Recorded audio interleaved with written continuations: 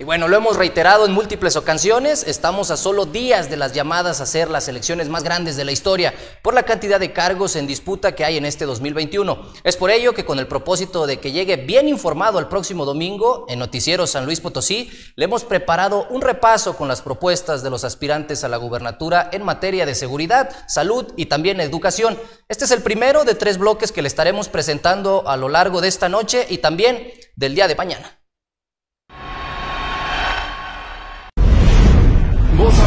Pedrosa, gobernador. Seguridad. Promueve la creación de un fideicomiso de seguridad pública. Crear un sistema estatal de acceso a la justicia para mujeres. Mejorar tecnología de seguridad. Crear un Consejo Asesor Ciudadano en Seguridad Pública. Modernizar centros de reinserción social. Salud.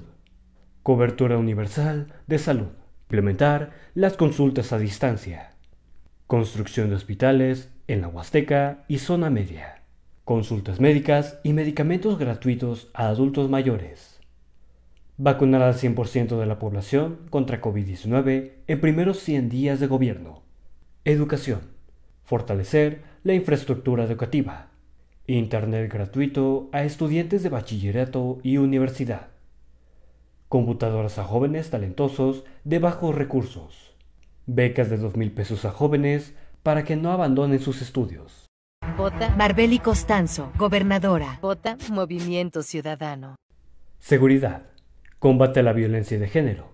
Duplicar el presupuesto de corporaciones policiales. Policía con perspectiva de género. Proximidad social de la policía. Salud. Personal médico en todas las clínicas del Estado. Medicamentos en todo el Estado Nuevo modelo de salud regional de la mano con universidades. Impulso de la salud reproductiva. Educación. Promover universidades y zonas industriales en las cuatro zonas del Estado. Mayor presupuesto a la educación.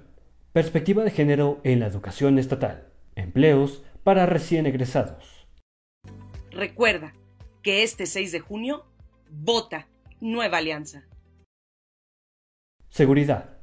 Prevención capacitación y sensibilización para generar confianza en la policía, incentivar la vocación de policías, Universidad de la Policía para profesionalizar a los cuerpos, dignificar la labor policial, salud, construcción de hospitales en la zona huasteca, reconfigurar el presupuesto del sector salud, aumentar el número de médicos de alta especialidad, crear brigadas médicas de atención inmediata, Educación.